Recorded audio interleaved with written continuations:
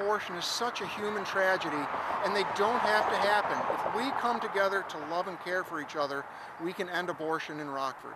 Kevin Rilott is the director of the Rockford Family Initiative. He feels abortions shouldn't happen at all.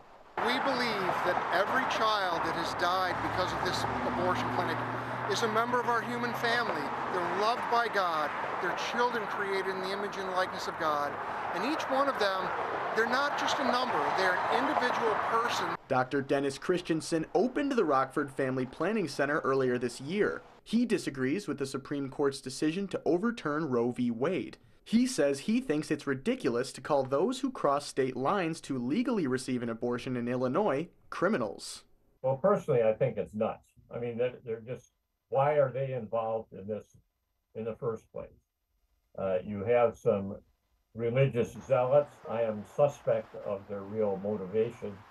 I just don't understand why they are involved. He says no matter what the future holds, people will do what they need to do.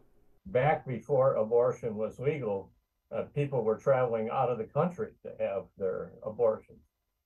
The, the law is not going to keep people from having abortion.